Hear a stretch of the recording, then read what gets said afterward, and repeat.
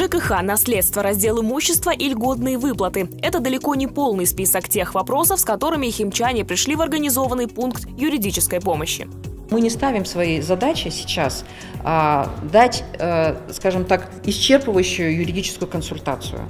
Люди к нам приходят и, и говорят, я не знаю, что мне делать, кому нам идти. И мы тогда говорим, а, проблема ваша лежит вот в этом русле, сюда мы ее развиваем.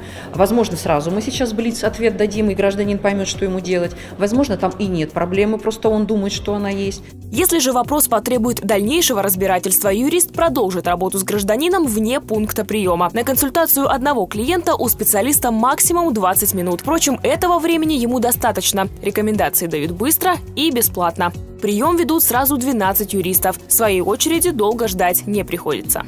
У юристов сформирован таким образом, что в нем присутствуют и юристы общего профиля, и узкопрофильные специалисты.